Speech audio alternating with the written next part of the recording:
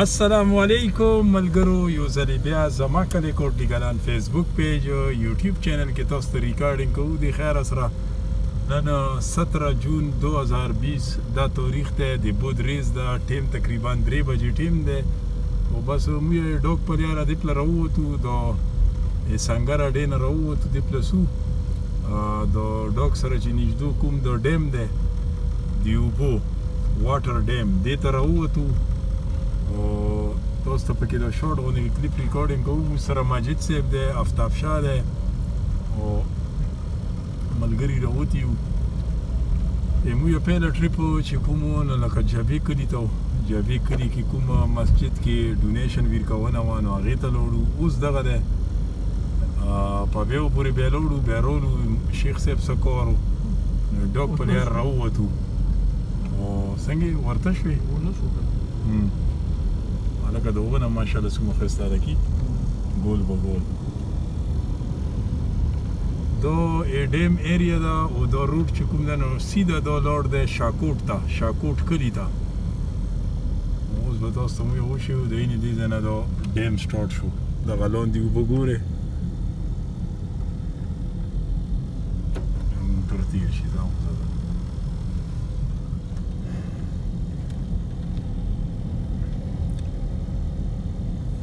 شیخه څه کوي دا بل ور غورځوي اوبه خو پکې تکې شنې دي ها او ډیم چې کوم دی نو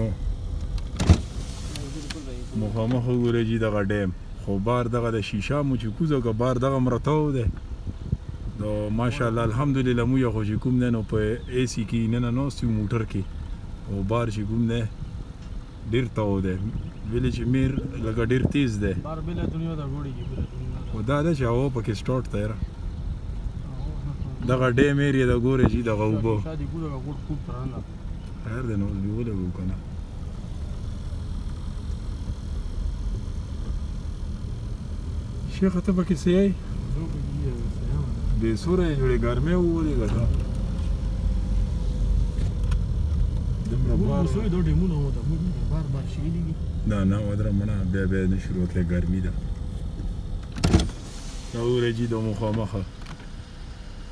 اوبه ډېره لکه ګیر چاپېره ټوله خورا ده او دا ډېره لکه ډوب هم دی دې تقریبا موته چې څومره پورې یاد دي دوه کسان اوسه پورې په دې ډیم کې ډوب شوي دي او هغې نه هغې ډیت شوی کوم چې دا ینګسټر روشي دی خو منی کیږي نه کنه حالکه ځای په ځای ورته بوډونه لګولي چې دلته کې لمبیدنه مانی ده خو هغه باوجود دی چې کوم دی بیا ورټوب کی او بیا لکه د کنټرول نه خبره وتی وي بیا هغه څه چپی والي نشي سویمینګ کوی نه شی نو بیا پکی ور ډوب شی دا اوبه وګوره جی بس تاسو دو خوندونه ګوره د کلی وطن د موږ د خټک نومې د نیچرل بیوټي زه په ځای چې کوم ځای کې موږ ته موقع ملویږي تاسو ته پکې موږ لکه کلیپ ریکارډینګ کوو هلته پکې لاندې څوک ناست دي ښه پکنیک ته راغلي دي دغه ګوډي وله جوړې دومره زرکو شو هلته نه اوس روډي جوړې ورکو شو عین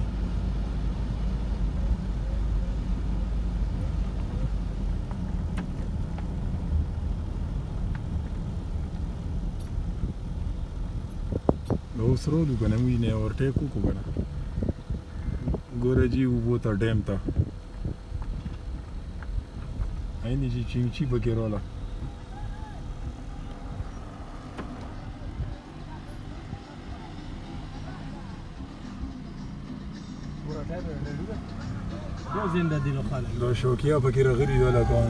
عیني عیني ګړي دا ګورې جی دا بورډونه زه په دې ډي جی سمال ډیم د طرف نه چې لیکلي په اردو کې چې ډیم کې پانی مې نهانا سخت منع او خطرناک ہے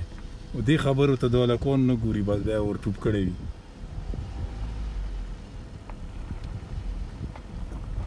دغه خپل هغه وکړو کنه چې له وټي وکړو لوړو دا لکون لوړو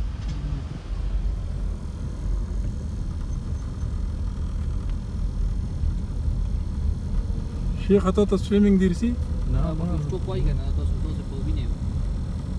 دا بل په کوم روان دی الټا کور به دې خلکو نه زده کوي روډي کوم دی او روان په کومو چاته نه مړه زه چې ته ویسم په ګلم سم نور کله دوز یو نه ډیر ډاک وی دا اوستش ته د مرخه دا پوس نه اوپر ته دی بیا دا ډیم چې ډاک وی کنه فول او دا وبلون دی روسی دا صفای بندوباس یو ګره کی څومره کشرا پکې پراته ده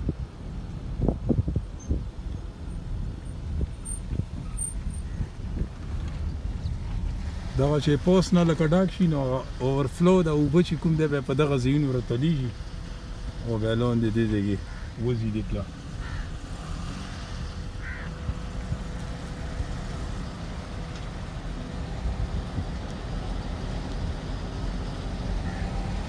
نو بس دا سمال ډیم و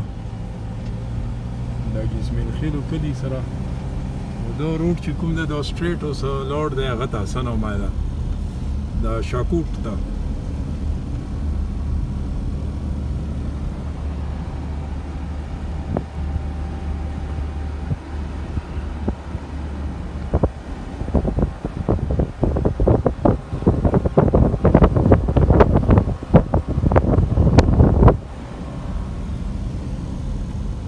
هیڅوک هم پکې نشته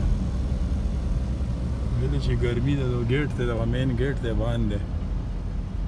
دې پلې ورته د غنې منې د کنټاتور لګولی خو دې باوجود خلک اپله وراوړي دا اوس دې ځای نه صفا لیدل شي ها ګوره ورته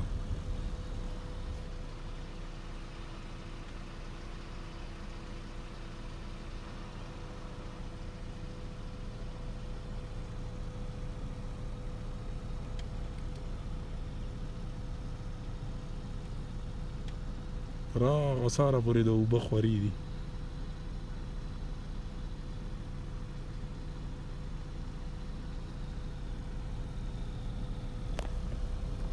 نو بس دغه ډیم چکر مو تاسو ته پکې تیر کو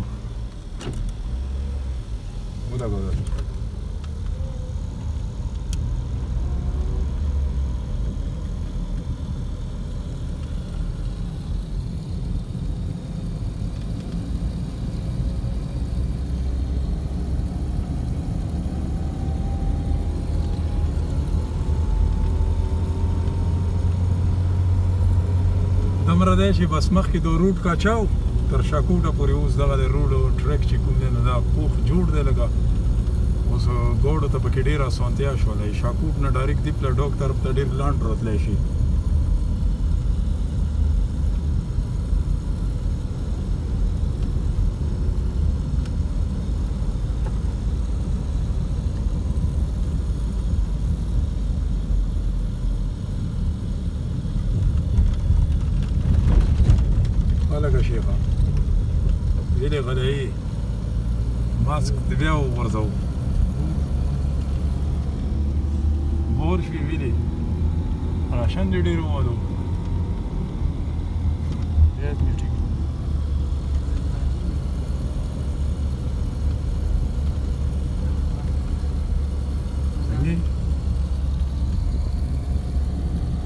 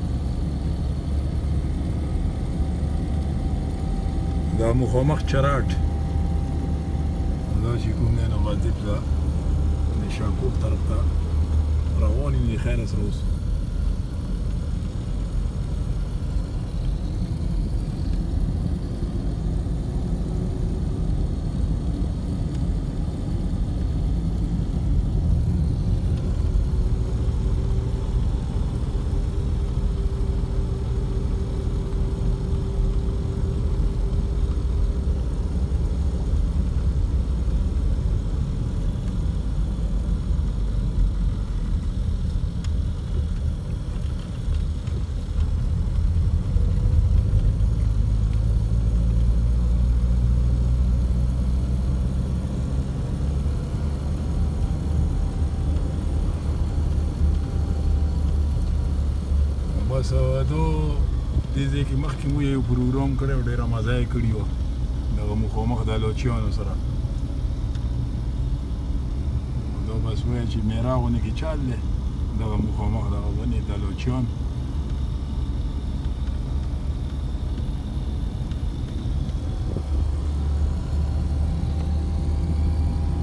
شاکوټ کلی حدودو ته چې کوم دی انټري مو وشوله تقریبا